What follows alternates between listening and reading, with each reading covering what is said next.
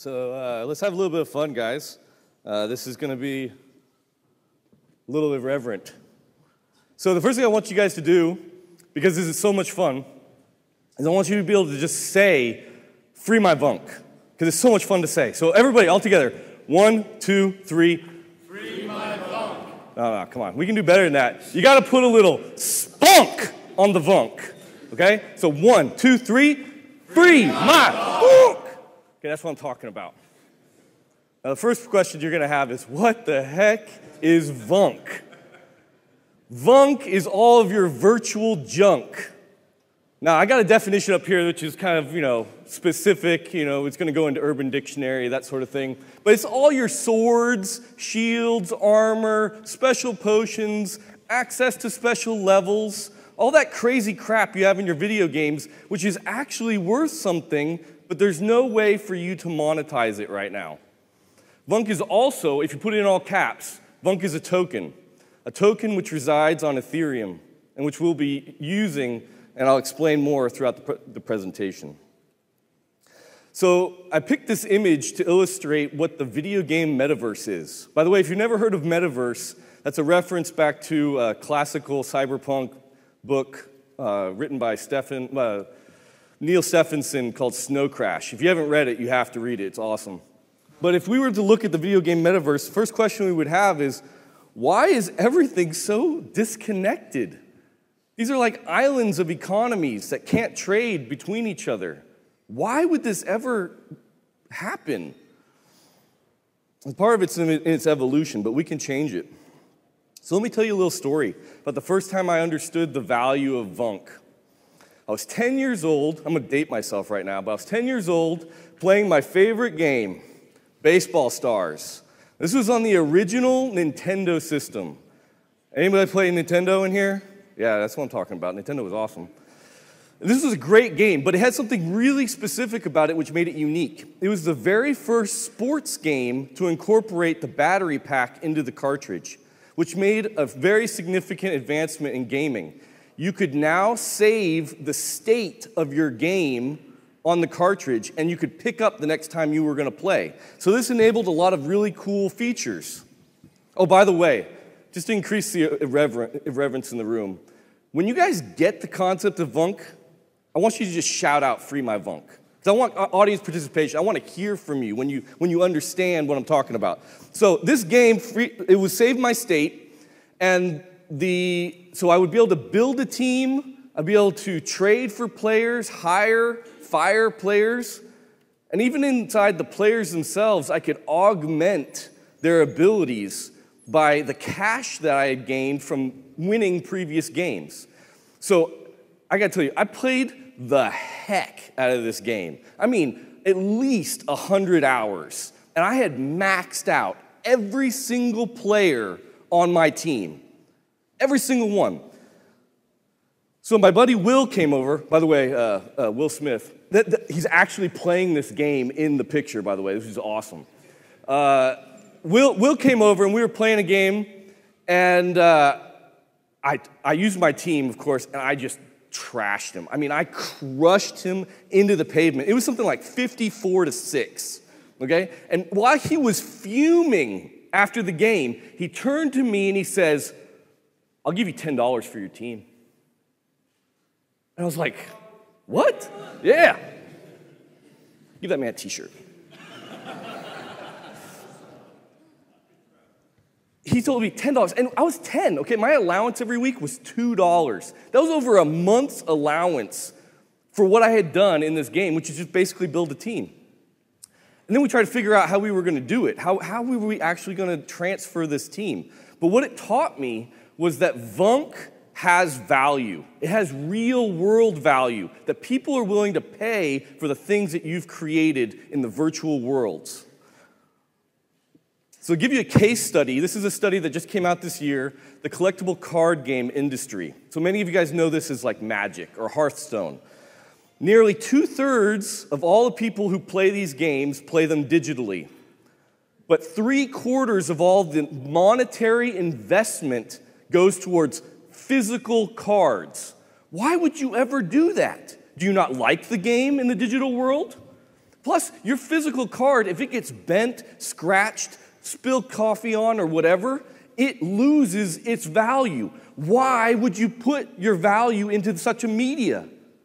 And the answer is because you can monetize it. You can walk down to the store and you will get cash from the, from the guy at the store for your card according to its trade value. Whereas in the digital, the game has it imprisoned, held hostage. You can trade within the game, but you cannot get money out of the game. It's sunk cost. But we can change this. I'm going to talk about three components that we have for our project that we believe will make a success. So the first is the movement. I'm going to talk about each one of these individually. The second are the tools and the plugins. The third is the marketplace. And what wraps all of this together is Vunk, the token. That's right, baby. Free my Vunk. And we call all these things together the Revunkolution. now I'm gonna I'm gonna give you guys a I'm gonna give you guys a little benefit. So if you uh, will follow me on Twitter and you tweet to me five of the games represented by these weapons down here, if you can identify what games they come from, I'll give you a free t shirt. Free my Vunk? You kidding me? So, the movement. So, this is all about educating gamers and getting them angry, telling them why they can't monetize their assets. This is all about incentivized evangelism. I'm going to talk a little bit more about that, about that in a second. And we're going to have mainstream media attention. So I'm pretty excited to give you guys a little bit of an announcement. We've had someone join our team, which uh, is, is pretty important to us. He is a Hollywood movie screenwriter and producer.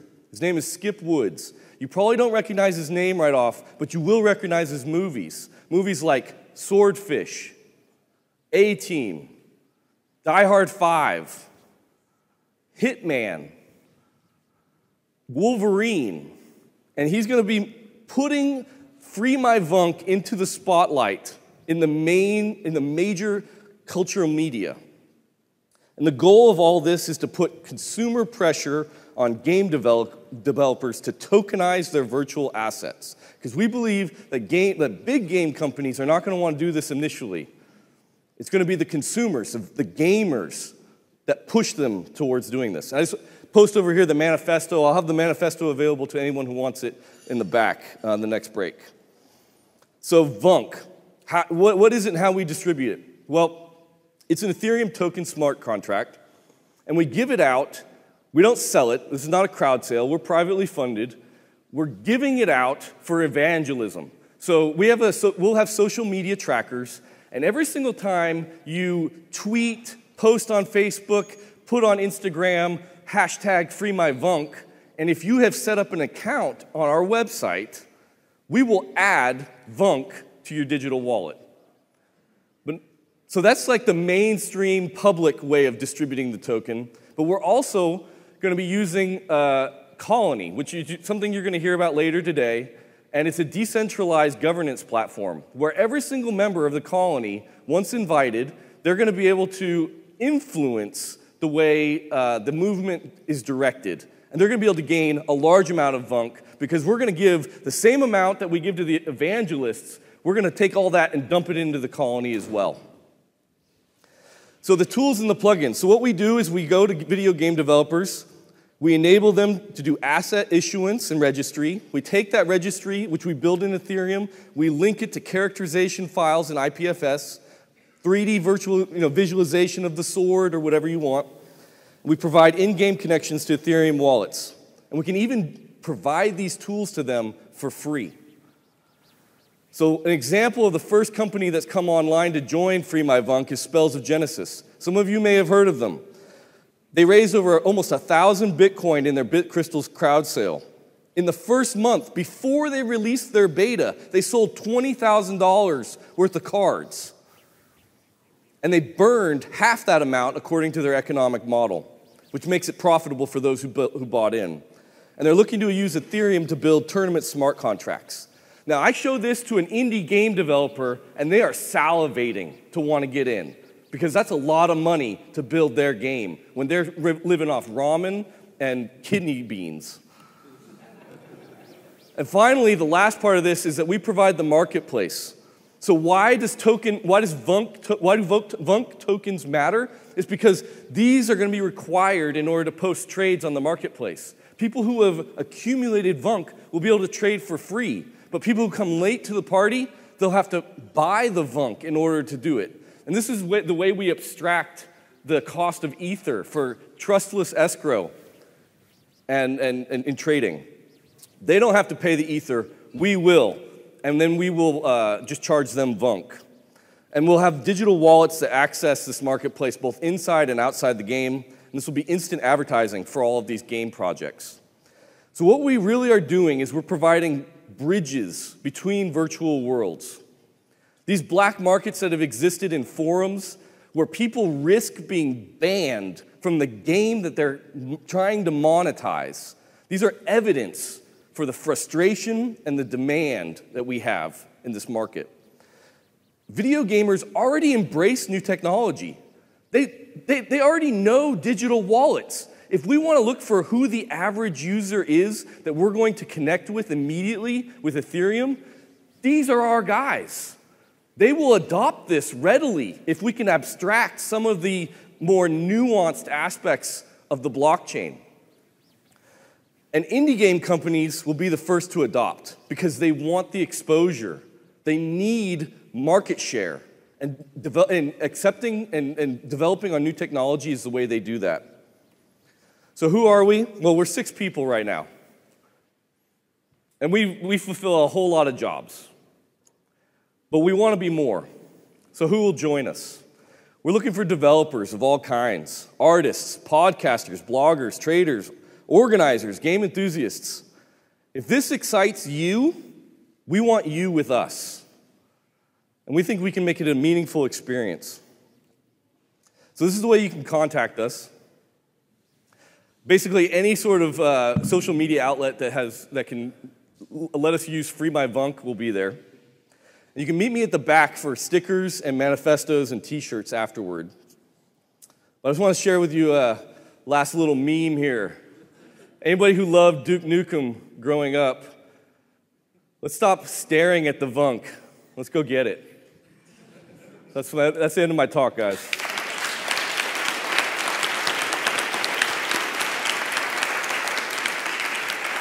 Uh, I don't know if I have any, a minute for some questions. Okay, cool. Take a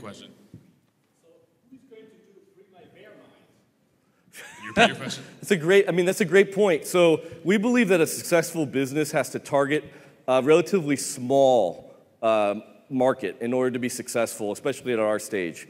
But there's no reason why this doesn't expand to a variety of things. I mean, we're talking fantasy football leagues, airline miles, um, you know, reward credits. There's no real limit to what this can do. But we believe that the need and the demand in the video game market is going to drive this really fast. Cool. Well, I'm ready to free my vunk. I don't know about you guys. Thank you, Tyler.